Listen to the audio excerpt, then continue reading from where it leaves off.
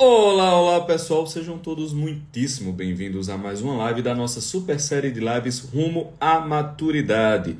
Hoje o tema é possua um núcleo de motivações internas, tá certo? É essa? Acho que é esse o tema, é esse o tema. Se não é isso, é nesse sentido, tá certo? Pois vamos esperar o Instagram de Ignacio avisar a todos vós que estamos cá ao vivo, beleza?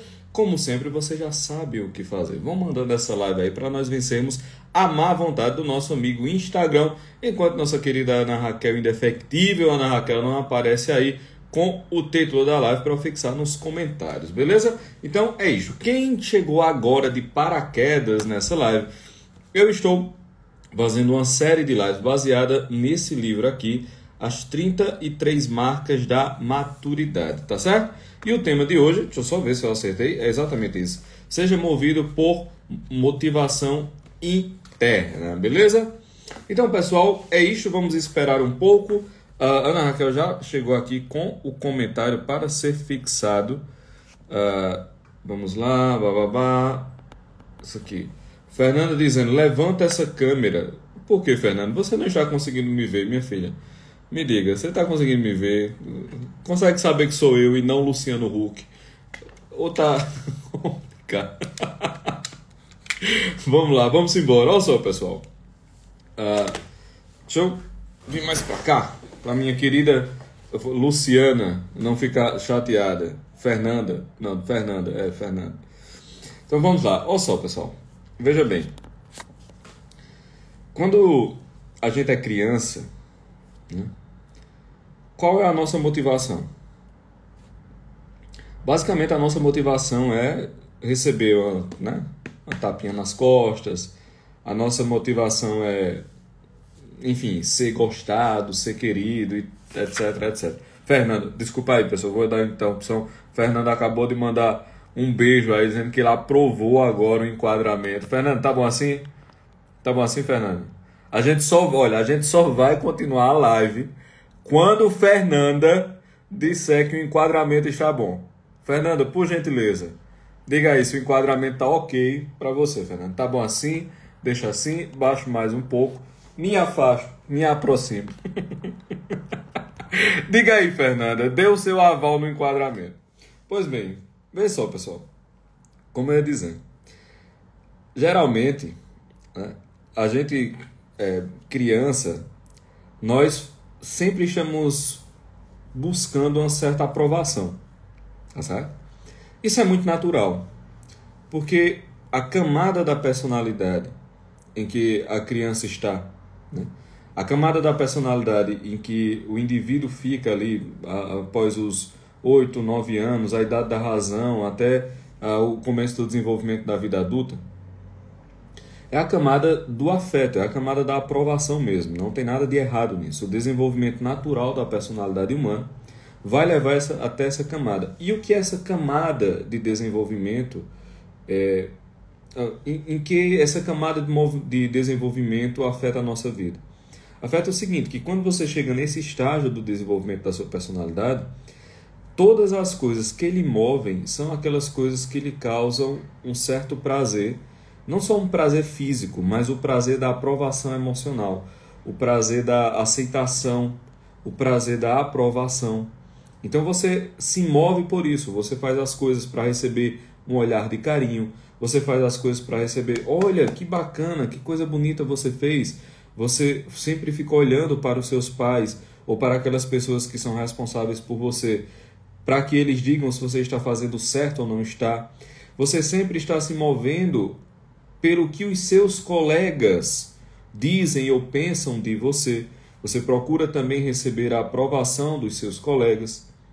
Tá certo? Isso é natural. Não tem nada de errado nesse momento da vida. Qual é o problema?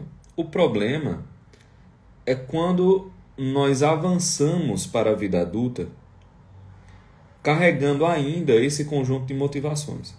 Ah, Pedro, quer dizer que num adulto normal não tem nenhuma motivação externa? Não, não é isso. É que num adulto normal, essas motivações externas não constituem o núcleo da ação. Entendeu? Então, por exemplo, eu posso desejar o afeto dos meus pais. eu posso desejar a aprovação dos meus pais. A princípio, não é um sentimento inadequado para um adulto. Até porque você gosta deles, você queria que eles ficassem felizes com alguma coisa que você faz. Não tem problema nenhum nisso. A questão é que, quando você é maduro, você percebe que o seu caminhar nessa vida não pode depender, por exemplo, da aprovação dos seus pais. Por um motivo muito simples. A sua vida não é a vida deles. Os seus motivos internos não são os motivos internos deles. E não tem problema nenhum em eles não perceberem isso. Não tem problema nenhum em eles não aceitarem essa diferença. Não tem problema nenhum, inclusive, em eles lhe odiarem por essa diferença. Entende? É claro que você não vai ficar é, satisfeito se seu pai lhe odiar. Mas se uma determinada tomada de decisão sua, ela é adequada para a sua vida, ela é correta, ela foi pensada, ela foi bem estruturada, é aquilo que se deve fazer. E porque você tomou aquela decisão correta, os seus pais lhe odiaram, você entende que isso faz parte do jogo. E o ódio deles para com você não vai ser razão suficiente para que você deixe de tomar aquela atitude correta. Entendeu? Por quê? Porque você possui uma motivação que independe da motivação externa que você recebe. Ela é uma motivação intrínseca sua. Ela não tem relação com a motivação externa. Então o cara está lá e o chefe dele é um pé no saco. A chefe dele é um pé no saco. Certo? Veja, isso não é o motivo principal para eu realizar bem ou mal o meu trabalho. A estupidez do meu chefe, a estupidez da minha chefe, não é a razão principal para eu realizar o meu trabalho. Quem fica calculando o seu trabalho, quem fica calculando a sua dedicação ao trabalho a partir do humor do chefe, é uma pessoa imatura. Por quê? A pessoa tem que trabalhar bem e dedicar-se ao trabalho, independente da motivação externa. Porque ninguém é uma criança que precisa de aplauso, ninguém é uma criança que precisa de tapinha nas costas, ninguém é uma criança que precisa ser acarinhada, precisa ser convencida com cuidados e afetos para realizar alguma coisa. Se você é adulto, meu filho, você tem que ter um núcleo de motivação intrínseca a você. Você tem que ter um núcleo de motivação que independe da motivação externa, entendeu? Você tem que fazer a coisa porque você sabe que aquela coisa é certa, ainda que não tenha aprovação de seu ninguém. Ainda que todo mundo sequer veja o que você está fazendo, ainda que todo mundo não aprove o que você está fazendo, ainda que todo mundo lhe odeie pelo que você está fazendo. Se aquilo é correto, e você sabe que aquilo é correto, você simplesmente vai lá e faz aquele negócio. Entendeu? Você não precisa da motivação externa para fazer. Você é movido por uma motivação intrínseca. O que significa dizer que a motivação ela está dentro de você, ela não está fora de você. Se a gente não entrar nesse nível de atuação, se a gente não se mover no mundo nesse nível de atuação, a gente nunca vai alcançar a vida adulta. A gente nunca vai alcançar a maturidade. Entendeu? Paula Felizardo pergunta: Mas é ok pedir a opinião de algum amigo para tomar a decisão correta? Obviamente. Veja, a busca a busca do conselho, ele não, não destrói a motivação intrínseca. O que nós estamos falando aqui não é o seguinte, não é a percepção das pessoas que é, é, odiosa, não é a percepção das pessoas que deve ser renegada, não é a percepção de outras inteligências acerca daquele problema que deve ser rechaçada da sua vida. Quando eu peço um conselho enquanto adulto, o que é que eu vou buscar no conselho? Eu não vou buscar a aprovação emocional, eu não vou buscar o aplauso. Quando eu peço conselho, eu vou buscar uma outra visão acerca daquele mesmo ponto. Uma outra visão acerca daquele mesmo ponto. Veja, há, há uns meses eu estava com um, um casal de amigos e aí eh, rolou uma proposta de emprego para mim. E imediatamente, quando eu estava no assunto, eu já tinha uma certa, como é que dizer, uma impressão daquela proposta, da proposta de trabalho. Era, não era nem um emprego, né? era uma proposta de trabalho. E aí eu já dei logo minha opinião. Eles ficaram em silêncio. E aí eu vim no carro dirigindo, tava dando carona. Eu vim no carro dirigindo e falei, rapaz, eu estou sendo muito imprudente. Porque isso não é uma questão fechada na minha cabeça. Isso não é, é uma questão moral, assim, que né, de pronto já tem uma escolha, não. É, você vai ser assassino de aluguel. Não, cara, assim, de pronto não tem que se discutir sobre isso. Não você. Né? Não era uma coisa desse tipo. Falei, pô, eu tô sendo imprudente. Eu fiz, falando, me diz aí qual a tua visão disso. Eu fui, eu, eu disse inclusive essa frase no carro. Falei, cara, eu fui muito imprudente aqui. Vocês dois eram um casal. Me digam aí, o que, é que vocês acham disso? Vocês acham que eu devia aceitar? O, o, o que vocês acham do que eu falei? O que vocês acham do argumento que eu dei? Aí eles disseram algumas coisas que, pô, fazia sentido. Eu não tinha percebido aquilo que eles disseram. Entendeu? Dizer, me fez olhar a situação de um outro ponto. Eu não terminou que eu não aceitei a proposta de emprego, né? Mas eu comecei a enxergá-la a partir de um ponto que eu não tinha enxergado. Entendeu? Solidificou mais o que eu estava pensando. Porque eles trouxeram outros elementos, quer dizer, eles discordaram de mim, mas os elementos que eles trouxeram eram coisas que eu não tinha pensado. Então, assim, quando eu busquei ali o conselho deles, eu não busquei o afeto deles, a palminha, a coisa, eu não busquei isso eu percebi, cara, eles podem ter visto algo que eu não vi. Eles podem ter visto uma coisa que me passou despercebido. O fulano tem mais experiência no mundo corporativo do que eu. Eu sempre trabalhei sozinho. Fulano tem mais experiência no mundo corporativo, então assim, como é que ele vê essa proposta? Você entende a diferença entre uma coisa e outra? Então não tem problema algum pedir conselho. O que tem problema é você mover-se unicamente pela aprovação. Isso é diferente. Isso é muito diferente. Veja, foi imprudente da minha parte não ouvir aquela opinião e não ouvir aquele conselho. Aquele conselho foi contrário ao que eu havia pensado. Mas o que eu havia pensado estava correto. Só que eu também não tinha pensado por todos os pontos, entendeu? Eu não tinha pensado por todos os pontos. Calhou de eu estar correto. Mas eu não tinha pensado sobre todas as perspectivas. E ele, eles me trouxeram uma perspectiva a mais. Então, terminou que eu não aceitei o trabalho. Quer dizer, não foi porque eles tiveram um conselho contrário ao que eu estava pensando que eu aderi imediatamente. Mas aquele conselho foi muitíssimo valioso. Porque eu não estava pensando assim, caramba, fulano me deu o conselho para fazer um negócio que eu estava pensando diferente. Se eu não fizer, o que é que ele vai pensar de mim? Se eu não fizer, o que é que ele vai pensar de mim? Cara, quando você chega num ponto em que a sua vida inteira está sendo trabalhada em cima do meu Deus, o que é que fulano vai pensar de mim se eu fizer isso? Aí, meu filho, lascou. Lascou completamente. Completamente. Você não pode pensar isso nem 100% dos casos, nem do seu cônjuge nem da sua esposa, nem do seu marido, nem do seu namorado, namorada, noivo, noivo. Você não pode nem pensar isso. E você tem um dever de agradá-lo. Veja, a pessoa que você tem o dever de agradar, que você escolheu colocar do seu lado para fazê-la feliz, nem a essa pessoa o cara pode dever toda a motivação.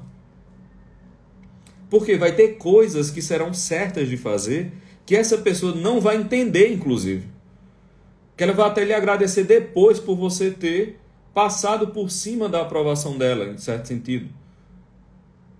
Entendeu?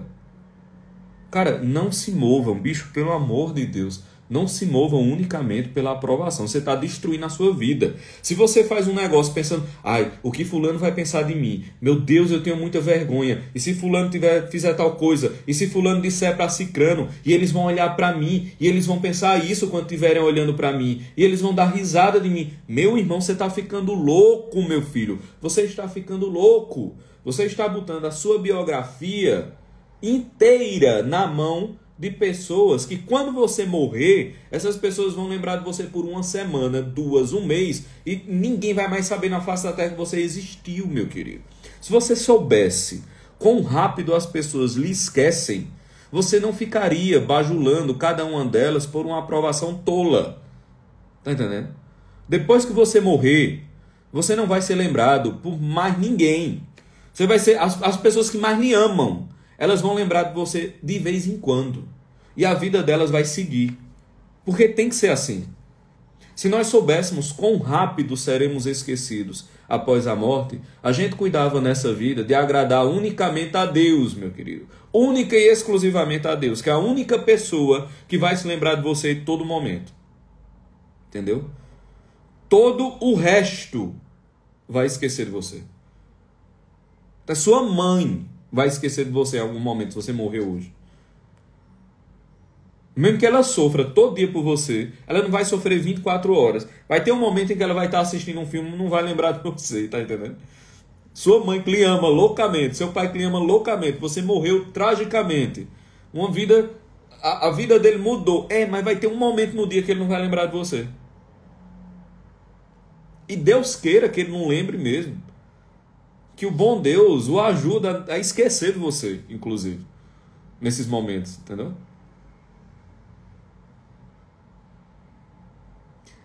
A Candice Carnaúba dizendo o seguinte: Mas aí você não estaria sendo egoísta? Por que você estaria sendo egoísta? Veja, o egoísmo é uma ação feita por desprezo, por desamor ao outro. Você agir certo, mesmo com o momentâneo desgosto do outro, não é um ato de desamor de maneira alguma. É um ato de justiça. É um ato de verdade. E, inclusive, no mais das vezes, é um ato de bem ao outro. Veja só, é, querida. Como é seu nome? Querida. Foi Janaína? Foi? Foi Janaína que falou? Olha só, Janaína. Toda vez que eu entrego a alguém um poder que não pertence a essa pessoa, eu estou fazendo mal a ela. Toda vez que alguém tem na sua mão um poder ilegítimo, ela tem um mal na mão dela. Toda vez que eu entrego a alguém um poder ilegítimo, eu estou destruindo aquela pessoa. Entendeu? O controle da vida de um adulto por meio de chantagens de afeto é um poder ilegítimo. Completamente ilegítimo. Ao entregar esse poder a alguém, eu estou fazendo mal a ele. Ou seja, eu não estou amando essa pessoa. Eu não estou fazendo bem a essa pessoa. Amar é isso, é desejar o bem ao outro. Se eu entrego um poder ilegítimo de controle da minha vida na mão de alguém que não deveria ter esse poder por esse meio, eu estou fazendo mal a esse indivíduo. Logo, eu estou sendo egoísta se eu der esse poder, porque esse poder me reconforta. Então, assim, eu entrego algo ruim na mão de alguém esse algo ruim vai destruir aquela outra pessoa porque é um poder ilegítimo, mas eu mantenho esse poder na mão dessa pessoa porque isso me satisfaz psicologicamente, porque isso me dá um calorzinho no coração, porque isso me dá um conforto emocional. Aqui nós estamos no reino do egoísmo. Entendeu? Eu não estou me importando que o outro corra o risco de se perder, desde que aquilo me traga uma satisfação emocional. Pegasse? O, a jogada como é. Então não é um ato de egoísmo, entendeu?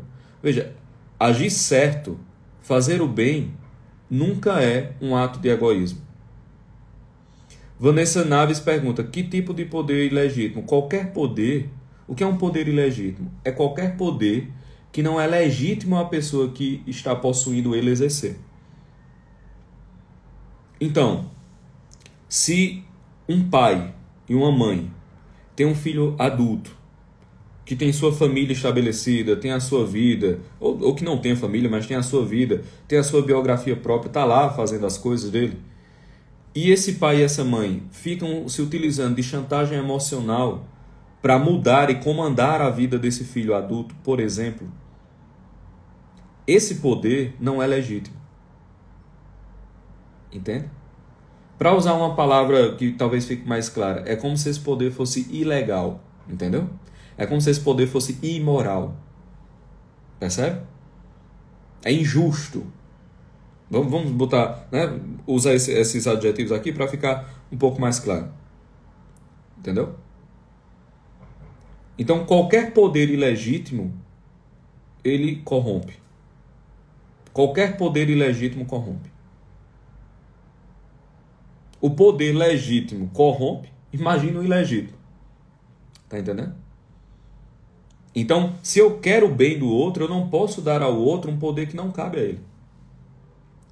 Por isso que desvencilhar-se, por isso que não se submeter a chantagens emocionais dessa natureza é querer o bem daquele que você está contrariando. É amar aquele que você está contrariando. São, são os casos em que ignorar o que a pessoa está dizendo é um ato de caridade para com ela. Não é ignorar com desprezo, ignorar com raiva, é ignorar com misericórdia. Você olha e diz: Ô oh, rapaz, ele não está entendendo. Nada não. Pronto. Percebeu? É nesse sentido. Isso é um ato de amor, não é um ato de egoísmo. Nós vamos voltar um pouco mais. Esse negócio da relação pais e filhos e vida adulta, meu irmão, vocês não têm ideia das coisas que chegam no direct, das coisas que chegam na caixinha, das coisas que chegam eh, nos acompanhamentos. É um negócio assim maluco. O pessoal não está conseguindo lidar com a vida adulta em face dos outros adultos da sua família. Então, assim, viram núcleos familiares de um bando de adultos que não sabem qual é o papel dos adultos um na vida do outro. Então, assim, beleza. Ele era um filho adolescente, agora ele é um filho adulto. Como é que eu ajo com ele? Ninguém sabe. Como é que eu ajo com meus pais depois que eu tenho minha família? Ninguém sabe. Como é que eu lido com a minha irmã depois que eu estou num relacionamento? Ninguém sabe. Cara, ninguém sabe. Tá entendendo? Aí ou você vai, e isso aqui está acontecendo demais, ou você vai para a submissão completa, ou então você vai para rejeição total. E a pessoa diz: "Ah, mas família também? Famílias, família depois que a pessoa virar adulta não é nem para lembrar que tem. Não, cara, pelo amor de Deus, não é isso também não. Não é isso também não nem você cai na submissão completa, nem você cai no afastamento total. Essas duas coisas têm que ser evitadas. Veja, esses dois pontos são imaturidade. São reflexos da imaturidade. O, o cara não percebe que é o seguinte, nesses dois pontos, nesses dois pontos, você não está sendo movido intrinsecamente. Você está sendo movido pelo meio. Você está sendo movido pelo mundo externo. Você nota isso? Tanto quando você se afasta totalmente, quanto quando você se submete, você está sendo movido pelo mundo externo. O tempo todo. O tempo todo, o tempo todo. E o cara não nota. E o cara não nota. Então, assim, a, a coisa tem que ser bem avaliada. Entendeu? Mas, de todo modo, o que tem que ficar aqui para hoje é o seguinte: as coisas que são seu dever fazer, o bem que é seu dever fazer, não pode ser alvo de especulação baseado no que os outros vão pensar. O seu chefe, o humor do seu chefe, o humor dos seus colegas de trabalho não pode ser a causa de você trabalhar bem ou trabalhar mal. O que a sua, o seu companheiro faz, o que a sua companheira faz, o que a pessoa que você escolheu para estar do seu lado faz, não pode ser o motivo fundamental que vai mover a sua atitude com relação a ela e ao relacionamento. Entende? Dando mais um, um, um, um salto aqui, né? Colocando, colocando a questão espiritual. Percebam o que eu vou dizer, certo? Entendam nesse sentido. Nem mesmo aquilo que nos parece ser ou não a ação de Deus na vida da gente deve ser motivo para eu deixar de fazer aquilo que é meu dever como criatura fazer. Você está entendendo o que eu estou querendo dizer? Às vezes a gente se acostuma tanto, a gente se acostuma tanto a só se mover quando nós somos acarinhados de algum modo, quando no, o nosso afeto é tocado de algum modo, que se Deus não se manifestar do jeito que a gente quer, no momento que a gente quer, a gente para de agir como deveríamos com relação a Ele. É, é, é muita loucura, entendeu? É muita loucura. E a gente faz isso todo santo dia. A gente faz isso todo santo dia. Tá entendendo? Então, assim, pessoal, vocês pegaram a mensagem, né? Que vai ficar na, na de hoje. Perceba, essa, essa live de hoje, guardem, guardem isso, porque daqui para frente nós vamos nos reportar a ela várias vezes, tá certo? Várias vezes a gente vai se reportar a ela. E vai ser muitíssimo importante, certo? Então guardem isso. Não dependam de motivações externas para fazer as coisas. É, eu só quero encerrar dizendo o seguinte: quanto menos você depende desses carinhos e motivações externas para agir, mais humano você fica e menos presa você se torna. Em que sentido? Imaginem uma, uma aranha. Eu, tô, eu não sei se vocês já me viram né, treinando aqui. Eu, eu treino na garagem do prédio. E eu moro é, modestamente, né? O, o, prédio, enfim, não tem nada demais. E é, a garagem aqui tem uma parte que fica exposta à água. É um lodo, meu amigo, um, um mato, um negócio assim. Aí eu fui treinar esses dias, tinha uma aranha ali que parecia. Sabe aquela aranha do Senhor dos Anéis? Aquela aranha que pega Frodo lá, gigantesca, pronto, parece uma aranha daquela. A aranha, assim, ela tinha espalhado, ela, meu Deus, era uma construção que merecia ser analisada, assim, a teia dela, sem brincadeira. Então, assim, eram um, uns três palmos de tamanho, a aranha desse tamanho, assim, meu irmão, e a bichona bonita, eu rapaz, que aranha bonita da gota. Eu fiquei olhando ela, e tinha um monte de bichinho aqui, né? Tinha um monte de, de inseto pendurado e tal. Vê só. Quando a gente vive movendo-se pelos aplausos e pelos afetos externos, nós somos aquela presinha lá da teia da aranha, entendeu? A gente não consegue se mover porque a gente está sempre grudado. A gente está sempre grudado o tempo todo. Então, é, você se move de cá, tem uma teia pegajosa aqui. Você se move de cá, tem outra teia pegajosa aqui. Todo lugar que você se move, você, pronto, tem uma teia ali pegando. Todo lugar que você se move, você está de alguma forma amarrado. Então, assim, tem gente que passa a vida como aquela mosca lá da teia, se debatendo, se debatendo, se debatendo, e ela acha que aquele movimento de se debater entre as teias que a contém são caminhar. Então, assim, ela acredita que está vivendo a vida dela só porque ela está se movimentando. Tá não, meu filho. Você está se debatendo na teia, entendeu? Se debater na teia não é voar, meu querido. Não é voar. Entendeu? Esse desejo inteiro de afeto, de validação, não faz com que você voe. Faz com que você vire a mosca lá, que fica se batendo, mas ela está presa na teia. Então tem gente que passa uma vida uma vida. Depois de 40, 50 anos de vida, o cara pergunta, certo? E tu viveu o quê? Que era tu mesmo. Que não era agradar os outros. Tu viveu o quê? O cara para assim, não, praticamente nada. A pessoa casou por aprovação. A pessoa buscou parceiros por aprovação.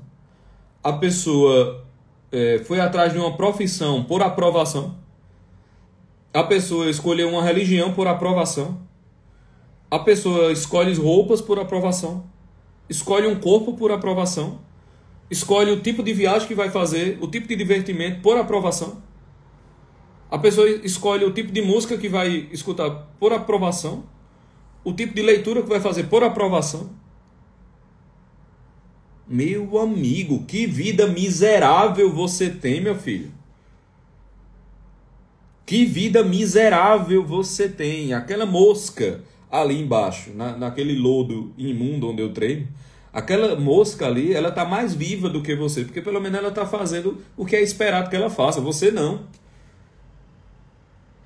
Não é esperado que você faça isso. Entendeu? E mais ainda, não só não é esperado, não é desejável que você faça isso. Não é desejável. A minha querida Emily disse, falou aqui de um livro, A Morte de Ivan Illich. Isso. Quem tiver a oportunidade, leia esse livro. É um, é um livreto, ah, cento e poucas páginas. A Morte de Ivan Illich. É um indivíduo colocado diante da morte fazendo uma revisão da própria vida. E ele vê que tudo que ele fez, ele fez motivado por coisas miúdas, por mesquinharia, pelo desejo de aprovação, via de regra. Casou-se por isso, escolheu casa por isso. Cara, é sensacional. A morte de Ivan Illich. Certo? Deem uma olhadinha. Leiam esse livro, procurem esse livro. Terminou a live. Terminou a live. Dê lá uma olhadinha, né? Deve estar uns 20 e poucos reais se tiver muito, certo? Leiam esse livro e vocês vão entender o que eu estou falando. Vocês vão entender um pouquinho melhor do que eu estou falando. Beleza? Então, pessoal, é isto. Cheiro grande para todos vós. Fiquem com Deus e até a próxima. Valeu, até amanhã. Valeu, tchau.